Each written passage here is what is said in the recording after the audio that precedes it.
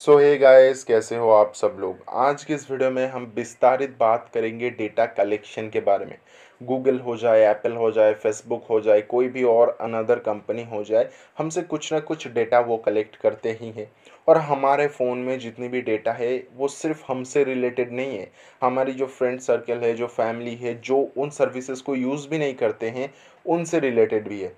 Example के लिए Facebook आपने एक बार अगर जो नंबर से उसके थ्रू आप अपनी फ्रेंड रिक्वेस्ट भेजने के ऑप्शन को ऑन कर देते हैं तो फेसबुक में वो सारी नंबर सेव हो जाता है। आप चाहो तो बाद में उन चीज़ों को देख सकते हो, उन नंबर्स को दोबारा ले सकते हो।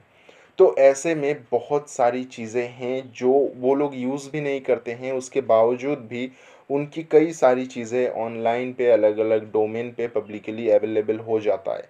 कंपनीज़ उन चीज़ों को ले सकता है। ऐसे में सबसे बड़ा क्वेश्चन निकल के आता है कि कैसे आइडेंटिफाई करें ये जो कंपनी है, ये थोड़ा सा डेटा ले रहा है, चलो ये ठीक है, इससे हमारी प्राइवेसी को कुछ खास ज़्यादा नुकसान नहीं पहुंचेगा, ये मान सकते हैं। और कौन सी ऐसी कंपनीज़ है जो हमारी डेटा लेते हैं तो उनको हम सिक्योर नहीं मान सकते या फिर उन एप्लीकेशंस के ऊपर हम ट्रस्ट नहीं कर सकते। एग्ज़ाम्पल के लिए टिकटॉक को बैन कर दिया गया इंडिया में सिर्फ़ इसलिए क्योंकि वो हमारे डेटा कलेक्ट कर रहा था। बहुत भयंकर लेवल पे जाके डेटा कलेक्ट कर रहा था।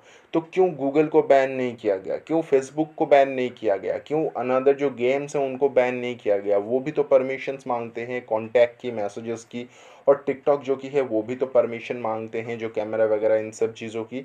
तो ऐसे में क्यों जो टिकटॉक है उसी को बैन किया गया? अलग अलग एप्लीकेशन को बैन नहीं किया गया।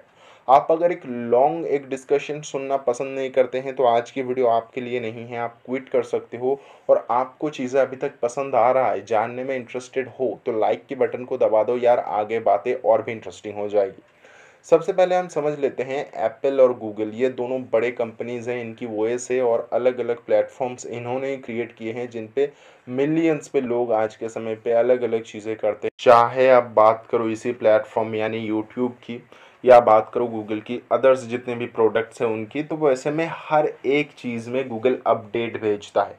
अपडेट होता क्या है? बेसिकली पिछले वर्जन में जितनी भी प्रॉब्लम्स थी, जो बग्स थे, उनको फिक्स किया जाता है।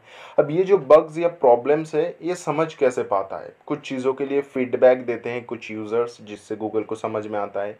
कुछ चीज़ों के लिए रिव्यू का इस्तेमाल कर, करता है, कुछ चीज़ों के लिए जो टेस्टिंग होते हैं, उसके थ्रू पता लगता है, ये ये प्रॉब्लम्स है।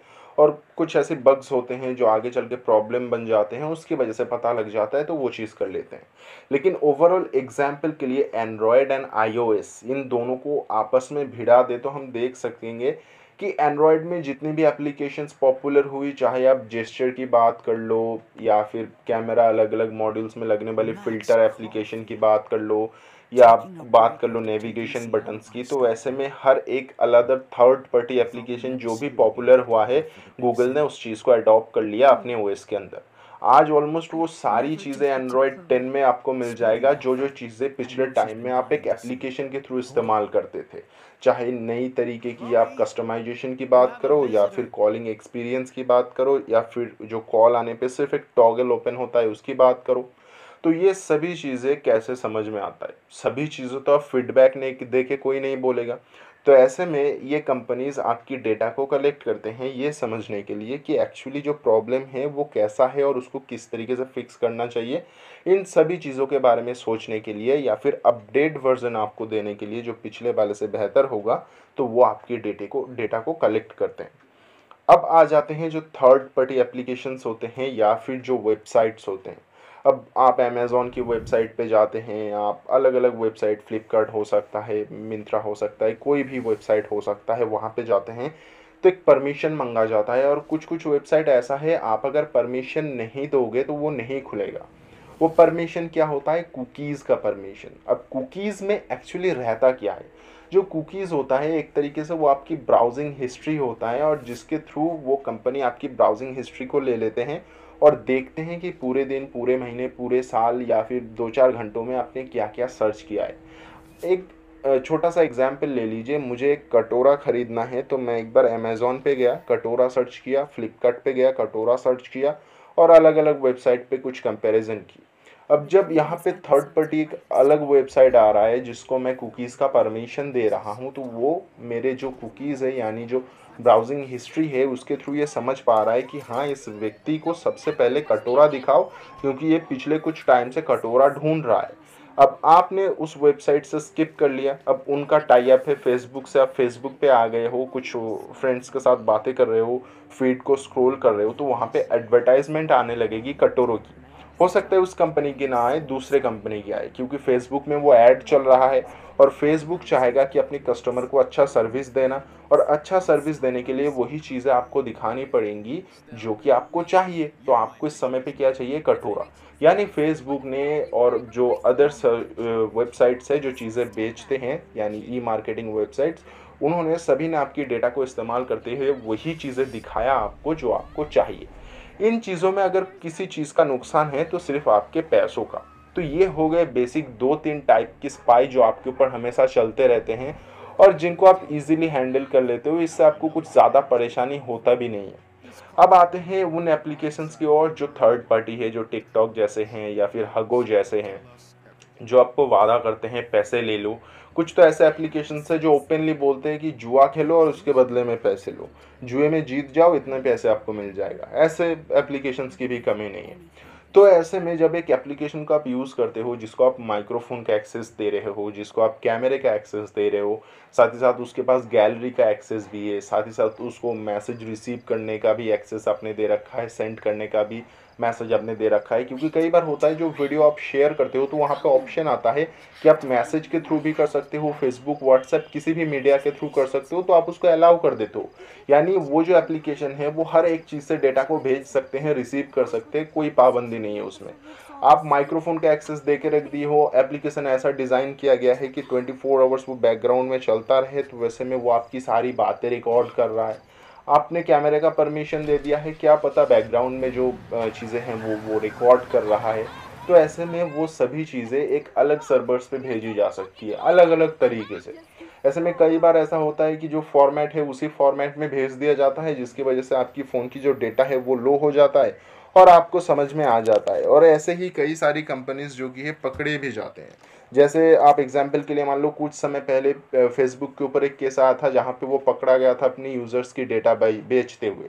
तो ऐसे ही कई कंपनीज़ पकड़े जाते हैं, कुछ कंपनीज़ पकड़े नहीं जाते हैं। टिकटॉक के केस में भी ऐसा ही था, उन्होंने वीडियो ऑडियो ये सब मिला के बहुत बड़ी मात्रा में डेटा को बाहर भेज रहे थे। ऊपर से ऐसी कोई एप्लीकेशन जिसमें आपने जीपीएस का एक्सेस दे रखा है, जैसे कि आप अपने फ़ोन में रखते हो तो ऐसे में गूगल में ऐसा एक बग था जहाँ पे आप किसी जगह पे जाते हो तो खुद ब खुद वो पता लगा लेता था आप कहाँ पे हो और उसकी रेटिंग मांगने लग जाता था।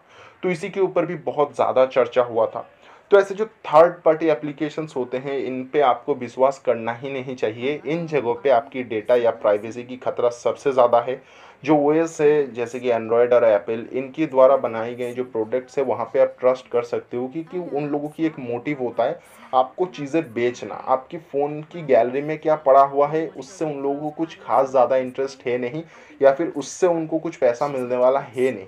लेकिन ऐसी थर्ड पार्टी एक पता नहीं किसने डेवलप किया उसको मिल जाए तो ब्लैकमेलिंग करके आपसे पैसे ले सकता है। पता नहीं अलग अलग चीज़ों में यूज़ कर सकता है। देश के लिए भी कई बार खतरा बन सकता है। वैसे लोग अगर उसके चक्कर में पड़ जाए, जिनके हाथों में पावर है तो। तो एक्चुअली आपको सेफ़ रहना है थर्ड पार्टी एप्लीकेशन से। जो प्री इंस्टॉल्ड ऐप आते हैं, उनको अनइंस्टॉल करने से आप इस चीज़ को स्टार्ट कर सकते हो। मैं उम्मीद करता हूँ कुकीज़ क्या होते हैं कंपनीज़ द्वारा जो डेटा कलेक्ट किए जाते हैं और थर्ड पार्टी जो एप्लीकेशन डेटा कलेक्ट करते हैं, इन सभी के बीच में जितनी भी डिफरेंस थी उनको मैंने आपको समझा दिया है और बेसिकली जो लास्ट में मैंने बात की है, जो टिकटॉक की एग्ज़ाम्पल के लिए बात की है, उसको कहा जाता है ट्रांसकोडिंग मीडिया यानी जो कोडिंग होता है डेटा ज़ीरो से वन तक, उसकी बेसिस पे आपकी डेटा को एक ऐसे सर्वर पे भेज दिया जाता है जहाँ से कंपनी उसको कलेक्ट कर सके। तो दोस्तों, मैं समझता हूँ डेटा रिलेटेड जितनी भी क्वेरीज थी डेटा कलेक्शन रिलेटेड वो सारी मैंने आपकी फुलफ़िल कर दी है।